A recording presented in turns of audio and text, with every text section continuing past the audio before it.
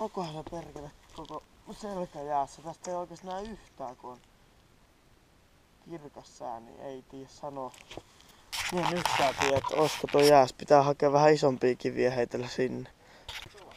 Tässä pitäisi joskus vuosi asua tässä rannalla seurata. Eikä ne, eikä ne yhtenä vuonna tuu kaikki. Ei.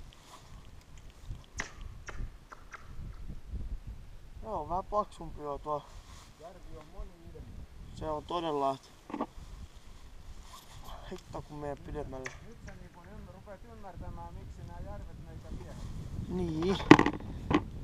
Se on aika suppea kuva, jos vaan kesäisin istuu laiturin kaljaa niin kattelee laineen liplatusta. Joo. Kyllä se a- aika, aikamoinen on.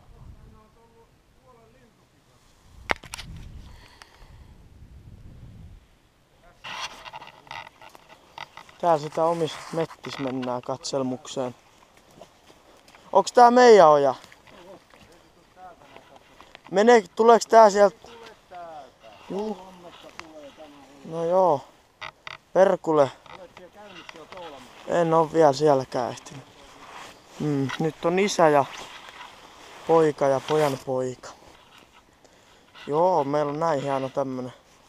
Tänään täytyy joku piilopirtti ehdottomasti perustaa nyt tähän ojan rantaan ja kaivaa se levennys tähän alavaan maahan ja padota se ja sinne laittaa sitten niitä kaloja. Ja näin. Siellä saattaa siinäkin jo tuolla kasvaa minun, minun lapsen lapseni lentävien autojen ja mopojen pohjakassarahat. Joo, täällä, täällä sitä rahaa kasvaa ihan vihreätä, vihreätä setelirahaa näin ikkäästä. Taas on pahat kielet laulanut, että, että lapsilla alkaa tuo yleiskunto huonontua, kun ei, ei osata uimassakaan käydä. Nythän se vasta kannattaa mennä uimaan kylmä vesi, niin sehän se vasta rasvat ja muut saa kulumaan. Ei tässä muuta probleemaa, mutta kuhan ei niin innostu, että tuonne jään alle sukeltaa. Että nyt on, nyt on niinku se todellinen uimasäiden uimasää. Lähdetään kokeilemaan miltä se vesi tuntuu.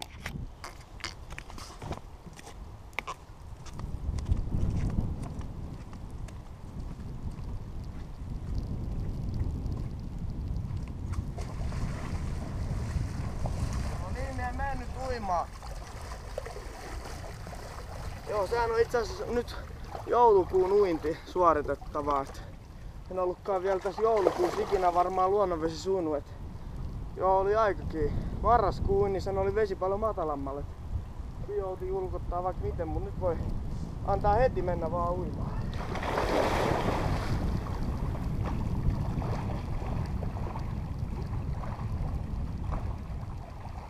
Huhhuh. Sehän teki hubbaa. Ihan hyvä, hyvä uinti. Olihan silloin marraskuun sitä helvetin sohjoa kyllä, mutta... Tuolla on nyt ihan... Kuunnelkaa. Nyt mä rikoin sen. Ai. Kuuluu toi natina tos. Joo, mut...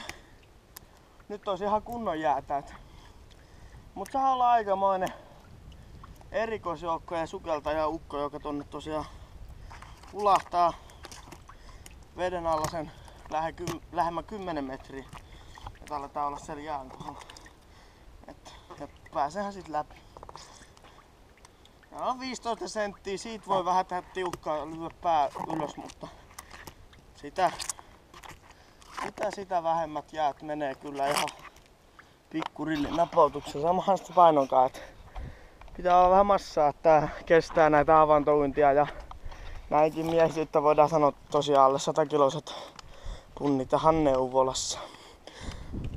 Mut joo, nyt ei tarvi yöllä sitten nähdä painaasta siitä kuinka viimeinen kerta kun tänä vuonna ollaan tulossa tänne Tapanin päivänä, niin olisi vaikka vitullisessa kuumeessa, niin jäisi joulukuun uinti suorittamatta ja nyt se on sitten hoidettu.